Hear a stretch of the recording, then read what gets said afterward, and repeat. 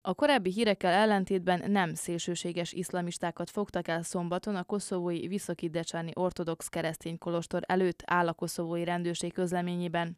Ennek ellenére Milovan Drecun szerint igenis van ok aggodalomra a Koszovó és Metóhiában ugyanis egyre több a szélsőséges nézeteket valló vahabita. A helyi parlamenti bizottság elnöke úgy véli, hogy ezek a személyek komolyan veszélyeztetik a más vallás gyakorlókat, így az ott élő szerbeket is. A hatóságoknak a nemzetközi szervekkel kell együttműködniük a szélsőséges támadások megelőzése érdekében. György Milicevic, a tartományi parlament haladó párti képviselője nem ennyire borulátó.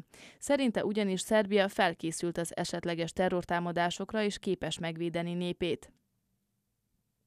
Szerbiát nem fenyegeti közvetlen terrorveszély.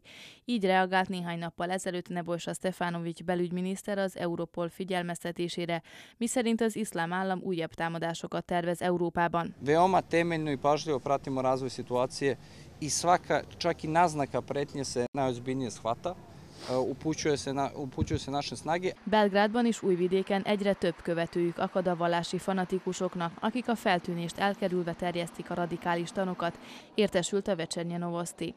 A vahabizmus egyébként az iszlám vallás irányzata, amelynek lényege az iszlám eszme megtisztítása az idegen elemektől, valamint a Korán eredeti tanainak feltétlen érvényesítése. A vahabiták az esetek többségében humanitárius szervezetek tagjainak álcázzák magukat, és főként a szegényebb sorsú muszlim vallású romákat próbálják beszervezni, írja a lap.